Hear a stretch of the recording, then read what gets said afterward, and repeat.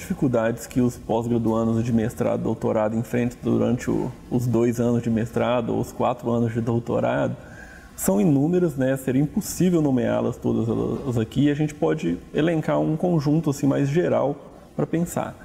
O primeiro talvez seja a, a transição graduação pós-graduação. A transição pós-graduação ela se dá de maneira, vamos dizer, um tanto brusca, tendo em vista a vida que você leva na graduação e a vida que você vai levar na pós-graduação. Então, por exemplo, se a gente pensar que o principal objeto, né, o principal produto do trabalho da pós-graduação é um projeto escrito, é uma dissertação, uma tese, na graduação a escrita não te define, ela não, ela não é o foco da graduação. Embora ela faça parte, ela seja importante, obviamente, ela não vai te definir totalmente a sua identidade enquanto estudante. No doutorado e no mestrado, do dia para a noite, a escrita se torna automaticamente aquilo que vai te definir. Essa, vamos dizer, talvez seja uma das maiores dificuldades que o pós-graduando enfrenta. Né? Centralizar a escrita, lidar com a escrita como algo central na sua vida. Uma segunda dificuldade seria a discrepância entre a expectativa que um aluno de graduação tem com a pós-graduação e a concretude com que é o cotidiano da pós-graduação. Sobre isso, eu diria que a maior dificuldade é lidar com a pós-graduação como um trabalho, né? porque é isso que ela é. A pós-graduação é um trabalho. E a expectativa de, que o aluno de, de graduação tem da pós-graduação é de algo um tanto abstrato. E a gente vai ver que no cotidiano, os pós-graduandos que não sofrem tanto com a vida acadêmica é aqueles que assumem o cotidiano do mestrado e doutorado como um trabalho. Ele tem que acordar, ele tem que fazer a pesquisa dele, ele tem que escrever, ele tem que participar de atividades.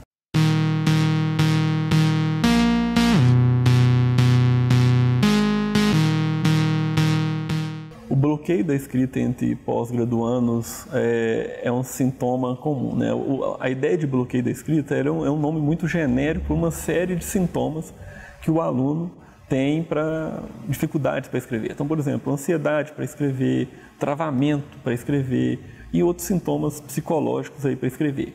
O que a gente pode dizer é o seguinte: as pesquisas sobre comportamento de escrita e teoria da composição mostram algo muito interessante, é um pouco triste, mas interessante, que é o fato de que escritores acadêmicos são os escritores que mais sofrem com a escrita. Por quê? Porque são os escritores, e aí a gente tem que pensar uma série de divisões. Então, por exemplo, escritores de humanas e sociais lidam com a escrita de maneira muito diferente do que escritores de ciências naturais, exatas, biológicas lidam. Porque os escritores de humanas, e são as pessoas que mais sofrem, escritores e escritoras que mais sofrem com a escrita, eles lidam com a escrita como algo que eles já deveriam ter adquirido. Eles pensam que eles já deveriam saber escrever. Então, por exemplo, eu atendo, né, nos últimos nove anos, eu trabalho no meu consultório, exclusivamente quase, com alunos de mestrado e doutorado, principalmente com problemas da escrita durante esse processo. 90% deles, e 90% também isso em termos de amostras de pesquisas que analisam isso, acreditam que eles já deveriam saber escrever bem o trabalho deles. Outra questão é que escritores e escritoras acadêmicos, dentre os, os diferentes tipos de escritores de diferentes gêneros literários, são os escritores que mais é, têm regras rígidas sobre o que é escrever. Então, são pessoas que acreditam veementemente que há uma maneira certa de escrever, que obviamente não é aquela que ele possui. Então, ele sempre tem um, um escritor, uma escritora imaginário que ele quer se tornar, que não é ele. E ele sempre pensa, por exemplo, que a maneira certa de escrever é aquela no qual a primeira versão do seu texto já vai estar perfeita. Essa é uma crença muito comum. Uma outra crença super comum é: eu preciso de grandes blocos de tempo para escrever, que é outra crença que produz muito danos, muitos danos. Então, assim, você tem uma série de crenças que escritores acadêmicos seguem que são extremamente danosas, que tradicionalmente escritores de ficção, por exemplo, não seguem tanto e que tem um elemento bastante interessante em termos de prática escrita, que escritores acadêmicos creem mais na escrita como algo natural do que escritores, por exemplo, de ficção. Geralmente, escritores de ficção pensam a escrita como um trabalho a ser aprendido. Eles aprendem que escrever é uma prática que eles têm que adquirir como um hábito cotidiano. E, e mais do que isso, né? são escritores que aprendem a desenvolver técnicas e estratégias individuais e também a partir de outros escritores. Né? Escritores de ficção são extremamente curiosos como outros escritores escrevem e escritoras, o que não acontece no caso da, das humanas. A gente privatiza muito o processo de escrever. Ninguém sabe como o nosso a gente não sabe como o nosso orientador, orientador escreve. A gente não sabe como os escritores que a gente admira nos nossos campos de estudo escrevem. A gente quase que assume que o livro ou o artigo que a gente está lendo foi escrito daquela forma como foi escrito.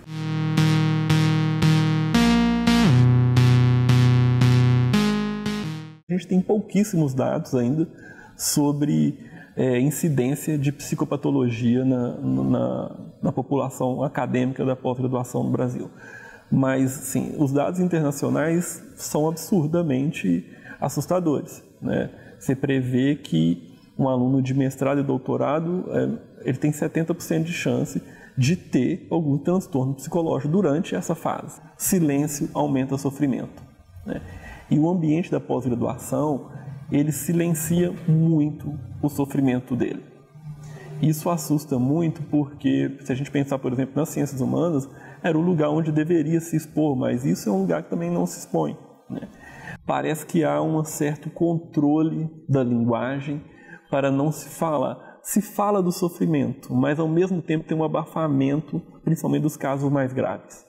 Né? Eu atendo casos muito graves, eu atendo tentativa de suicídio durante a pós-graduação e etc.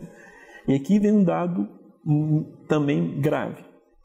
A maioria das pessoas que são que adquirem, né, de, que tem algum diagnóstico psiquiátrico durante a pós-graduação, esse foi o primeiro diagnóstico psiquiátrico da vida dela. Ou seja, foi durante a pós-graduação. Isso significa que só a pós-graduação foi responsável por isso? Obviamente que não. Né? A gente tem que ver a história de vida da pessoa, eventos traumáticos, etc. Mas parece que há um indício aí de que é um ambiente que produz psicopatologia. Motivos são vários, mas um bem, bem específico do ambiente da pós-graduação. O senso diário de incompletude do dia. A pós-graduação, como ela funciona, é a vida acadêmica, a pós-graduação especificamente, ela produz muito um senso que você nunca terminou as tarefas que você tinha que ter terminado naquele dia. Então, em entrevistas, na minha, na minha pesquisa agora recente, com alunos de pós-graduação e com professores, e a literatura sobre o tema também mostra isso, que comparado com profissionais de, por exemplo, um psicólogo acadêmico, comparado com um psicólogo da prática clínica, é, eles vão ter níveis de satisfação muito diferentes com o trabalho, porque o psicólogo da prática clínica, por exemplo, ele sempre acaba o dia dele com um certo senso que o dia dele acabou. Ele executou tarefas que tiveram começo, meio e fim.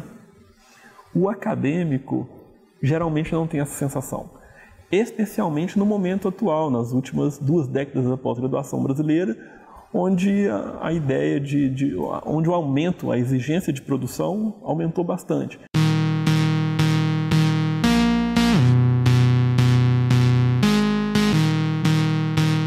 Em termos gerais, eu diria que a resposta sim.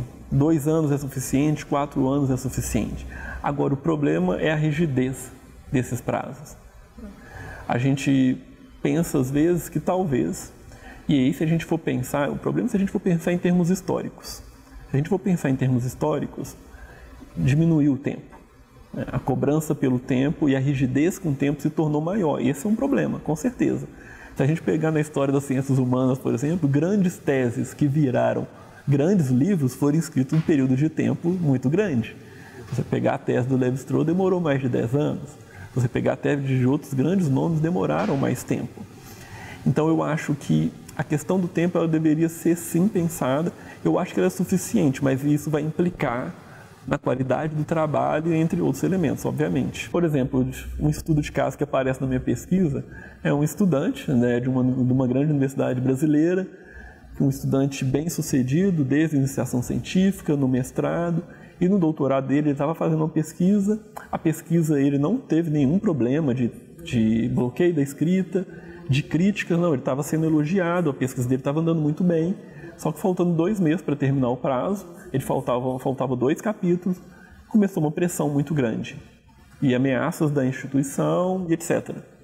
E aí adquiriu um quadro de ansiedade ali generalizada e tem dois anos que ele está tentando terminar, ele está para ser jubilado.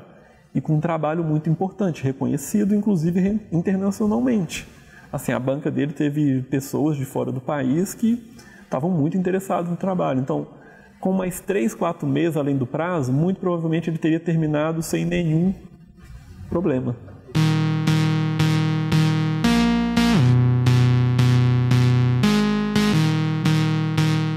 Acho que o momento de procurar ajuda psicológica é o momento no qual você perceber que o seu cotidiano não está funcionando da maneira como deveria estar funcionando. Que você estiver experimentando estados psicológicos que te impedem de dormir, de se relacionar com as pessoas.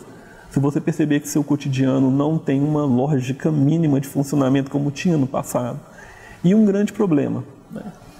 Estudantes de mestrado e doutorado, geralmente a, a impressão que eu tenho nessa pesquisa atual é que eles procuram ajuda psicológica quando o quadro deles já está muito avançado. E uma hipótese que eu estou desenvolvendo a partir da entrevista com eles é que isso acontece porque há uma resistência a assumir que eles estão sofrendo com algo que era supostamente para eles não estarem sofrendo, que é com a vida acadêmica. Então há um senso que seria uma fraqueza muito grande isso acontecer com eles.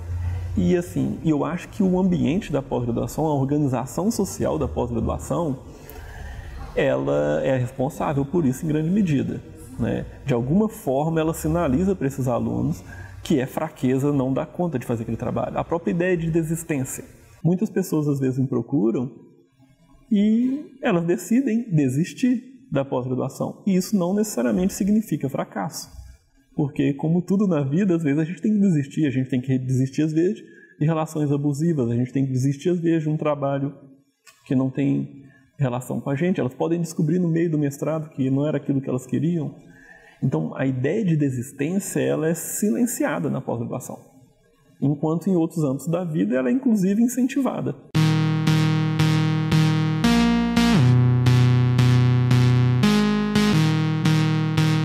Eu acho que a graduação, né, para quem está na graduação e está pensando em pós-graduação, porque às vezes né, a minha fala ela parece um pouco pessimista, né, ela assusta, mas não, não é essa a função. Eu acho que a função é, primeiro, conhecer o máximo possível o cotidiano da pós-graduação já. Se envolver em atividades, procurar conhecer estudantes que estão na pós-graduação. Eu acho que isso é um fator especial. Segundo, outro fator que eu acho que facilita essa transição tornar a escrita como algo a ser desenvolvido. Alunos que têm o comportamento de escrever mais desenvolvido na pós-graduação, eles têm no mínimo 50% de chance de sofrer muito menos e sentir muito mais prazer. E mais do que isso, a, a principal mensagem que eu dou é: a pós-graduação não deve ser vista como um lugar tão superior como as pessoas colocam. Ela é um trabalho, muito importante. A pós-graduação é um lugar muito importante que produz coisas muito importantes, precisa ser desenvolvida. Mas acho que o grande sofrimento tem a ver com o fato de que as pessoas pensam a pós-graduação como um lugar socialmente muito superior aos outros. E isso acaba produzindo muita frustração quando a gente entra lá e descobre que é um lugar importante, mas é um trabalho. Acho que essa é a principal mensagem que eu passaria. Essa, inclusive, é a condição para você conseguir fazer um bom trabalho lá.